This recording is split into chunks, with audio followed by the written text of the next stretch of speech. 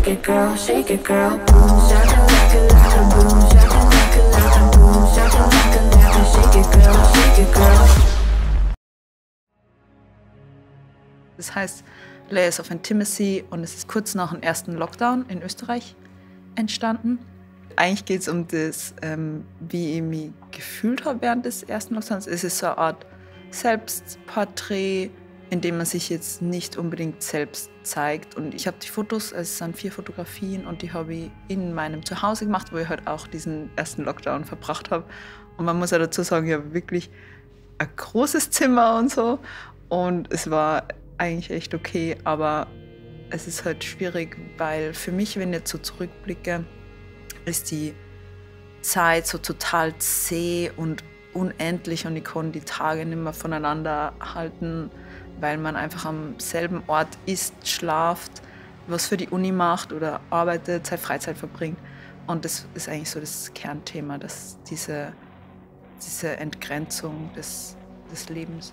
Also ich habe das eigentlich alles mit Selbstauslöser gemacht und ähm, teilweise sind auch, also ich habe extra so Fehler drinnen lassen, wie das jetzt einmal, schaut so links mein Kopf rein oder die Haare. Man erkennt es was gar nicht, aber es ist so eine leichte Irritation.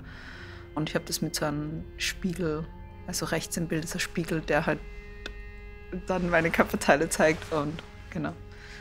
In viele Installationen äh, arbeiten ja sehr viel mit, mit Audio, mit Musik.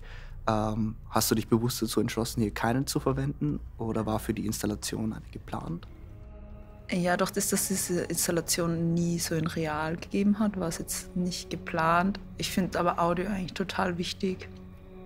Und es wird also jetzt in diesem digitalen Raum, also haben wir entschlossen, dass ich eher so Alltagsgeräusche drinnen lasse, weil das halt dann viel authentischer finde. Also für mich persönlich war jetzt kein generiertes Audio, also wäre jetzt nicht das Richtige. Das heißt, du verwendest quasi den, den, Den- Alltagssound. Ja, den um- Atmos sozusagen, genau, die Atmosphäre, ähm, um dieses Reelle näher zu holen. Schön. Hast du dir irgendwas selber aus der Arbeit mitgenommen? Für mich persönlich, ich bin so ein bisschen oft leicht unkonzentriert und so und dann mache ich irgendwie 10.000 Sachen gleichzeitig. Einfach, ähm, wenn eine Idee gefällt, stick to it, also einfach dabei bleiben und weitermachen und weiterarbeiten und dann kommt am Ende, es kommt was raus.